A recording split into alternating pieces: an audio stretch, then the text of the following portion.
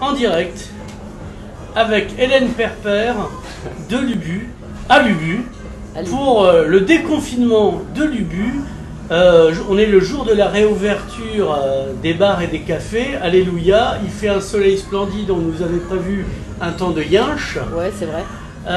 Et donc, Hélène Perper, la taulière du, de Lubu, on aura après euh, le camarade euh, Claude.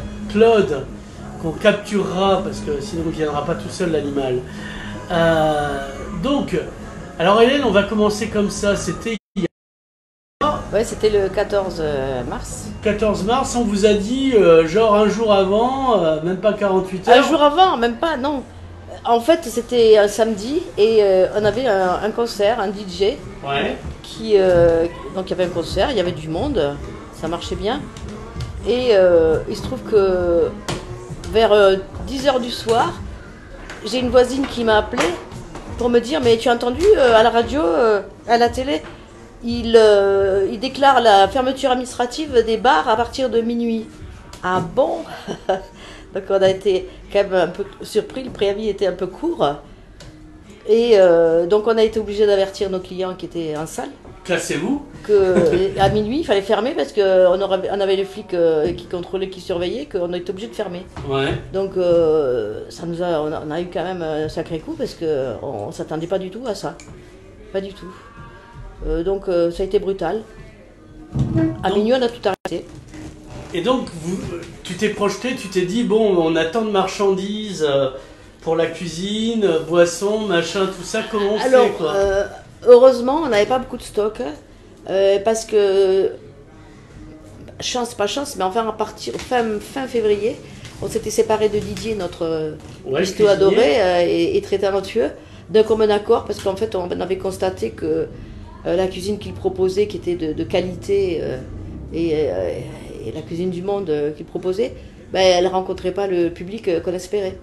Donc, euh, d'un commun accord, on s'est on a, on a stoppé la, la- la cuisine.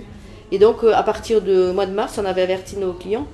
On ouvrait d'abord un peu plus tard, vers 17, à 17h, et euh, on proposait des tapas, donc euh, cuisine euh, allégée. Donc, euh, c'est la raison pour laquelle. Allégé, euh, c'est plutôt gras. Oui, voilà. je veux dire, c'était, c'est pas euh, une C'est cuisine. l'allègement de la cuisine, Voilà. pas, pas du contenu, quoi. Voilà, pas du contenu. Mais euh, donc euh, le- les stocks, on n'en avait pas énormément.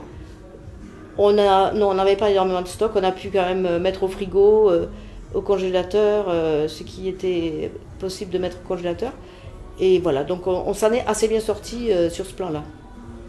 Donc, voilà. Alors, et après, vous êtes retrouvés, en fait, à vous dire, mais qu'est-ce qu'on... Après, on s'est retrouvés. Qu'est-ce qui le, le lendemain, c'est un peu le jour d'après que vous aviez terminé vos provisions, euh, etc. Vous aviez pas d'annonce et vous êtes. euh, Qu'est-ce qu'on fait? Vous avez appelé le syndicat euh, Alors, des hôteliers Aucune. euh, euh, Vous êtes alors, renseigné Vous avez reçu des trucs Alors, dans un premier temps, on s'est reposé parce que c'est vrai qu'on était un peu exténué. Donc, on a vécu le début du confinement cool, quoi, parce qu'on on s'est vraiment relaxé. Mais ce qu'on a regretté, qu'on on a, on a été un peu halluciné, c'est d'avoir aucune information, notamment de la part de la mairie, Ouais. par rapport à la terrasse, par rapport aux aides possibles. Et euh, Ils ont été très tardifs. Hein. très tardif. En gros, j'ai fait l'interview de David Tranchkost il y a deux semaines. Oui, Et, et c'est le lendemain qu'ils ont, ils ont dit, ah ben, en fait, on vous les fera pas payer. Voilà, mais moi je l'ai appris euh, sur le, le site de l'indépendant, internet. J'ai appris que la mairie en fait euh, suspendait les- le paiement de la caution de terrasse euh, jusqu'en fin décembre. Alors bon, à voir si ils confirment ça. Donc on a eu, euh, bah, c'était la moindre des choses quand même, hein, on nous oblige à fermer. Ouais, On va pas nous faire payer en plus euh, les terrasses qui sont inoccupées quoi. Donc on vous a fait payer plus cher euh, par rapport à avant. On est passé de, de 3 à 2 en Voilà. niveau terrasse au prétexte qu'il y aurait l'université. Voilà, l'université n'a pas vu la couleur, en tout cas oui, voilà. la fréquentation a été vraiment euh, absolument nulle puisque les étudiants passaient, on était invisibles. Euh, donc euh, la place Rigaud, voilà, la place Rigaud. Euh, alors voilà. Donc en revanche, concernant l'information, vraiment le syndicat UMI a fait Ouais, ça- vraiment un bon ça, boulot. ouais. ouais, vraiment un bon boulot. On a été, enfin, presque presque quotidiennement, on était informé par mail Ouais. des mesures, des négociations, des résultats des négociations auprès des, des. Donc là, là-dessus, on a été euh, vraiment bien renseigné. Donc on a bénéf- pu bénéficier de- d'une partie des aides euh, de l'État. Ouais. Euh, Qu'est-ce qu'on a eu encore? Donc la terrasse en moins. Bon, évidemment, les frais fixes qui, ça- qui, qui restent, mais bon, les, les, les- les frais courants, électricité, gaz ont été suspendus, bien évidemment. Mais euh, les- le- la, la perte à gagner a été quand même. euh, le manque à gagner. euh, le manque à gagner est, est incroyable, quoi. Et euh, je pense surtout à nos copains de l'atmosphère. F- Florian et Kevin, qui ont été stoppés en plein démarrage, puisqu'ils venaient de- d'ouvrir. Et c'est pas fini en plus. C'est pas c'est- fini, je crois qu'ils ont des tracasseries. hein, Ouais, ça, ouais, ils ont encore des tracasseries. faut les encourager. Ce sont des, des- des- des jeunes qui méritants, quoi. Donc eux, ça a été, ça devait être euh, vraiment très dur pour eux. Et voilà. Et aujourd'hui, c'est la reprise. Bon soleil, comme tu as dit.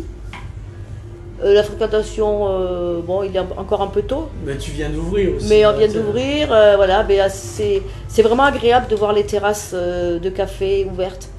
La ville. Oui, vivante. alors il n'y a, y a pas de masque. Vous, vous portez pas de masque. Si, normalement, on devrait les mettre Ouais, pour servir. voilà, parce que mais- nous, là, on est à 2 mètres de voilà, distance. à 2 mètres hein. de distance. Alors, évidemment, donc on, a- on est obligé de respecter un protocole sanitaire. Ouais, vous avez de- du gel hydroalcoolique. Voilà, à l'entrée. Pour Alors, le bar est, est interdit. Ouais, Puisque la station debout au bar n'est pas autorisée. ouais. Donc euh, les gens, euh, en fait, ne vont pas au bar. Ils sont servis en terrasse. Mm. Donc je prends les commandes à l'entrée. Je, je, la, je la dirige vers Claude qui fait, prépare les, les- les boissons. Et puis je, les, je les amène en terrasse. Mais impossible de rentrer euh, dans le bar. À moins d'aller aux toilettes, à ce moment-là, il faut au préalable se passer les mains au Et gel au- hydraulique. oui, voilà, et a posteriori aussi, mais pour d'autres raisons. Ouais. et ensuite, il y a tout ce qu'il faut dans les toilettes pour euh, se laver les mains. Et, et ensuite, il n'y a pas possibilité d'aller à deux, évidemment. hein. Il faut un par un aux Ouais, toilettes. ouais. Donc euh, là, il faut le surveiller. Donc euh, après, il y a les- aussi l'écartement de, des tables qui doivent respecter un mètre de distance. Mhm. Et là, euh, c'est vrai que ça nous diminue euh, un petit peu la terrasse. Mais, Bah, c'est mécanique. hein. mais on a l'autorisation de, de s'étaler. Alors, vous ouvrez maintenant à, 10 à quelle heure? 17 heures? 17 C'est l'heure heures d'été, 17h. 17 Jusqu'à- heures et jusqu'à? Tard dans la nuit, euh, une heure. D'accord. Deux heures, ouais. Très bien. Euh, Est-ce qu'il y a des tapas? Puisqu'il n'y a plus de cuisiniers. Alors là, pour l'instant, euh, on a un problème de frigo. Ah, ah oui, toujours En pas réglé cette ouais. histoire. Donc c'est toujours pas réglé. Donc là, on va, on va pas faire de tapas. Ouais. Peut-être on verra, parce que là c'est un peu l'inconnu. On verra la fréquentation. Si ça commence, on peut faire des tapas avec le petit frigo qui nous reste. Mhm. Ça va être euh, possible, mais euh, ça, ça va être vraiment, je- on sait pas quoi. On va, on va voir venir. On va voir venir. On est un peu dans l'inconnu. On verra la fréquentation, on verra ce que, ce que demandent euh, nos clients. Enfin, on verra. Donc, euh, donc voilà. Bon, euh, vous avez parlé euh, aux autres commerçants. Là, je vois Kevin en face euh, à l'atmosphère. Mais Kevin, ils ont euh, proposé du, du prêt remporté, donc euh, Mhm. des bières remportées avec, euh, avec une table à l'extérieur et interdiction aux clients de rentrer. Mhm. Donc ça a marché, ça, ils ont, Ça marchoté, ils ont quoi. marchoté, ils ont vivoté quoi. Nous non, nous on a, on a confiné total Mhm. et, et c'est vrai que bon moi on a tous les deux on a un peu coupé euh, toute communication, on a coupé nos téléphones et euh, pour un peu faire le point, pour se reposer, euh, voilà, penser à autre chose. Et, c'est vrai que quand je le rallumais, j'avais beaucoup de messages de, soutien des, clients et ça, ça fait chaud au cœur quoi. Les, clients qui nous, à qui on manquait, l'UBU manquait, euh, voilà. donc euh, ça c'était sympa. Bon. Alors là, là, là, là, là, là, là, vous, vous y allez au doigt mouillé parce que vous savez pas plus. euh, Rien quoi, parce que le euh, problème vous c'est que avez eu la mairie, ils vous ont dit des trucs. En la mairie de- rien du tout, aucun per- perso- personnage de la mairie euh, n'est venu. N'a C'est une de- période particulière parce on n'a qu'on pas a- eu- on n'a pas eu de deuxième tour. On a eu un, Voilà. un premier tour brinque-ballant. Là, on est sur un deuxième tour pour le 28, Le 28 juin. ouais. Donc là aussi, c'est compliqué, quoi. C'est compliqué, euh, euh, voilà quoi, ils savent pas trop. euh, c'est- ouais, c'est tout est dans l'inconnu quoi. C'est vraiment une période particulière. Euh, ce qui est sûr, c'est que bon, pour, pour l'activité à venir, il y aura les concerts sont interdits pour Mhm. l'instant, donc euh, donc il n'y aura pas de concert. Mhm. On pense quand même maintenir les jams si c'est possible.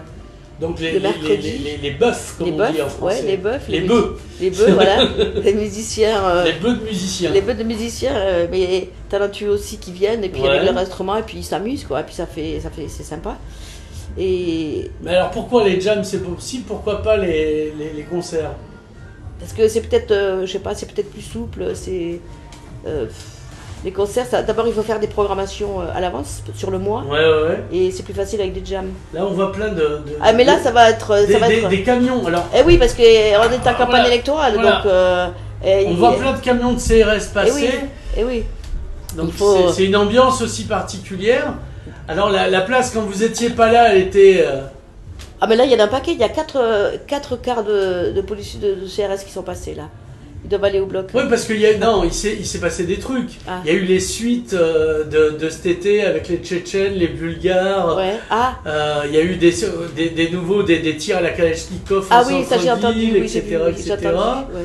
Donc il y a toujours, l'épicerie était pas ouverte, mais il y avait les, les jeunes qui traînaient encore et on trouvait plein Malgré de, le confinement. de, de cartouches euh, Ouais, pour. euh, pour euh, de, de peroxyde donc d'azote pour, pour se faire rire. hein. ouais. En même temps, on les comprend. On rit pas naturellement. Il faut bien un, un peu de peroxyde d'azote pour rigoler. Il faisait un raffut d'enfer. Euh, la mairie n'intervenait pas. Elle les voyait à la caméra, mais elle disait aux gens qui les appelaient. euh, mais euh, on les voit, mais on n'a pas d'effectifs. Voilà, ouais. Alors qu'on est censé être la ville la plus équipée Oui, en oui, par voilà. habitant. Non, il y a des, des choses incohérentes à Perpignan. Euh, Il y a des incohérences totales, quoi. Pendant le confinement, c'est vrai qu'ils étaient ils stationnaient, là, c'était pas normal, quoi. Bah oui, parce que de temps en temps, tu revenais à la boutique, toi. ouais, ouais, ouais, je les voyais. Donc puis moi, je les entendais la euh, nuit, quoi. Ouais, ouais, en plus, ouais. Donc euh, là, là, on a eu quand même euh, mois de mars et avril, les deux mois de programmation. Mhm. Donc on avait, on avait donc euh, euh, fait des, passé des contrats avec euh, les musiciens. Ouais, Donc, on vous avez prévu Caval qui, qui sort un nouveau Oui, disque. oui, oui, on avait prévu Caval et puis Donc, euh, après la belle année était prévue, donc c'est reporté. ben, on va le reporter, mais après ça dépend des finances aussi. hein, Oui, bah oui, en plus, oui, c'est voilà. les finances qui conditionnent le, le- le paiement des. Parce des- que c'est un investissement et en même temps de, faire venir un groupe, c'est un pari. Oui, c'est un pari. Donc si Parce tu les que- fais venir, il faut vraiment qu'ils soient, que les gens soient là, Voilà. mais à un mètre de distance. C'est très compliqué Voilà, comme jeu. voilà. Et, et que les gens viennent surtout, parce que c'est pas. Et on a constaté qu'on propose des concerts gratuits, Mhm. de qualité, Ouais. euh, les, mais vraiment, hein, il y a eu des concerts de, de haut niveau, hein. Euh, en jazz, en, en tout, en rock aussi, mais il n'y a pas toujours eu la fréquentation qu'on espérait, ça c'est pas normal. Les gens, ils- C'est-à-dire que vous n'êtes pas les seuls à, Voilà, à Perpignan, et donc c'est au prorata de votre communication. Voilà. Il faut vraiment être lourd en communication Ouais. pour dire que les personnes se disent ah peut-être éventuellement ça va m'intéresser. Ouais, ouais, c'est vrai, mais C'est pas de votre, Ah, c'est euh, en partie de votre faute, mais c'est pas totalement de votre faute parce que les gens. euh, Pas totalement, parce que là, comme on l'a fait, il y a le site internet, il y a les amis de. Il y a Facebook, il y a les amis de l'UBU, euh, il y a les, les, les flyers qu'on distribue, mais euh, il y a une concurrence, et puis, euh, puis la place Rigaud, peut-être qu'il y a. ben, la place Rigaud ne tient pas ses promesses, c'est-à-dire que la mairie ne tient pas ses promesses par rapport au prix des terrasses. Exactement, voilà. Euh, les étudiants, ils sont pas là, et les deux mois, c'est la faune naturelle qui, qui est venue repeupler, euh, repeupler le Exactement. truc. Et donc c'est bon, c'est pour qui aime Mad Max, c'est intéressant. Ouais. Euh, moi, je me permets de le dire parce que j'y vis, donc. ouais, bien euh, sûr, tu connais le. Je, c'est, pas un point de vue, ah, euh, non, non, ils Mm. sont bruyants, ça peut faire peur, et donc c'est pour le commerce, c'est pas terrible. Mm. Donc la mairie, si elle faisait son acte de police, parce que quand même, Mm. Jean-Marc Pujol, le, le maire, temporaire ou pas, Ouais. est toujours premier magistrat de la ville, eh ben, il y aurait peut-être... euh, et ils n'ont pas joué le jeu jusqu'au bout. Ouais. Ils ont posé les bâtiments, ils ont à peine posé les étudiants. Ben, C'est-à-dire, ils n'ont pas anticipé euh, sur euh, ce qui allait se passer après. Voilà. Les, le stationnement pour les étudiants, il n'y en a pas. Ensuite, ils n'ont pas rendu la, la place attractive. Et, et elle- elle- nous, le matin, quand on arrive, c'est souvent très sale. Et le- n'en- ne parlons pas du soir quand on s'en va. Mm. Bon, ben enfin, euh, ça, ça reste quand même sympathique. Non, c'est agréable. C'est une ville, une, une place qui est populaire, qui est, qui Mais est, il manquerait à rien, mais à un moment donné, Voilà, il faut il que la manque- mairie fasse son Voilà, il manque pas grand chose pour que ça soit vraiment sympa, quoi. Euh, voilà, quoi. Donc, euh, Donc, alors, il y a, il y a- y a peut-être eu aussi l'élection d'un nouveau pape, d'un nouveau président de l'université, mais on n'en sait rien. Parce que là aussi, euh, vous avez toujours pas de contact avec l'université. Pas du tout, non. Moi, je suis allée, euh, je te l'ai raconté, là, faire un tour euh, dans leur bocal, là, parce que vraiment- ça ressemble vraiment à un bocal. Et puis, euh, l'impression que ça m'a donné, c'est qu'ils ont, ils ont peur.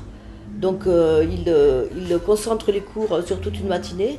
Et puis, dès que c'est fini, paf, ils s'en vont, ils tracent et ils vont On m'a raconté qu'il y a même un prof qui avait réussi à, à faire toujours ses cours en haut, Ouais. à l'université même, et pas au campus Mailly, parce qu'il leur avait démontré qu'il n'y avait pas les conditions de Ouais. tranquillité pour le faire. Ouais, ça, Ça, ils s'en sont pas vantés. Ouais, c'est- nul.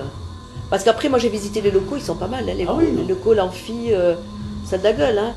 Mais euh, bon, le- leur salle de repos là en bas, elle est minable. Ouais. Mais, mais les salles sont pas mal faites. C'est pas mal fait. Après, ils ont fait, ils sont en travaux là, ils font des logements étudiants. Ouais. Je pense que dans les deux ans, ça va démarrer. Elle va démarrer cette place. Dans les Oui, deux mais ans vous, en tant que commerçant, il faut que ça démarre rapidement parce que vous n'avez pas l'échine financière Non. déjà avant le Covid, Ouais, mais avec le Covid, c'est pire encore. Donc, euh, il faut vraiment qu'il y ait un vrai soutien et financier et de communication de la Voilà. mairie, quoi. Alors après, euh, il y a les jeudis de Perpignan. Je pense que c'est c'est supprimé. Oui, oui, il me semble. Donc oui. c'est supprimé, Visa reste. Donc euh, c'est vrai que les jeudis de Perpignan, ça, ça nous a amené une. Mais les gens. bonne les- fréquentation. Bah oui, bah les gens, s'ils viennent cet été, ils viendront pas à Perpignan, ils, y- ils iront sur les plages. Voilà, c'est ça. Donc on est vraiment dans l'inconnu, on est, on est, on ne sait pas où on va, quoi. hein. Donc ça va être, euh, comme tu dis, au doigt mouillé, on va, on va s'adapter euh, à la situation euh, qu'on rencontre. Voilà quoi. Mais on a toute notre bonne volonté, on a fait en sorte que tout, que tout soit bien, que le, le lieu soit accueillant, que voilà. Ah, le lieu est bien, on aura vécu des bons moments, je veux Ouais, dire, ouais. en concert, mais même en interview. Ouais. On aura eu des, des moments Ah oui. assez. euh, C'était le cadre de, des vinoscopies, euh, ben ça va continuer. des interviews que- multiples et variées qui seront écoutées, hein, parce que je regarde le nombre de vues, euh, c'est, ça marche bien. on va continuer Vinoscopie, on attendait que vous réouvriez en fait. D'accord, ben voilà, Donc un clin d'œil à l'ami Jean l'héritier qui, est chaud comme un, cheval dans son paddock, dans son paddock Ah oui, pour, pour ramener ses vignerons. Il y en a deux, Ouais. déjà deux de près. Alors Ouais. dans l'intervalle, il a fait de de- d'autres chroniques, ça s'appelait... Il faisait du tourisme pour, pour amateurs avertis, hors, hors des, chantiers, des sentiers battus. ouais, euh, où il racontait ses voyages en Italie, en Hollande, dans des endroits où Ouais. peu de gens vont. Euh, comme la villa de Neuron qui, qui, qui- qui est en fait enterrée, etc. etc. Ouais. Euh, ou, ou- ou des boucheries-restaurants euh, dans des villages troglodytes, enfin bon, voilà quoi. Ouais, c'est, un- c'est quelqu'un de, de- de hyper intéressant. Voilà, donc on les- reviendra, chance, on hein. reviendra ici. Euh, Et en plus, il y aura la clim dans la salle d'interview là. Comment on a, il y aura la clim, là elle n'est pas branchée, mais il y aura la clim. Oui, pour le moment ça va là, encore. Ouais, il commence à faire chaud quand même, hein, pour Donc, un, bah oui. mois de mai, euh, un mois de juin qui commence. Donc on va s'interrompre un moment, puis on va aller capturer Claude. D'accord, ok. Je Mais- te remercie. Euh, on se retrouve tout de suite avec euh, Claude Pichot, donc l'autre taulier. Merci, Claude. merci Nico. Merci Hélène Perper. Merci Nico, bye bye.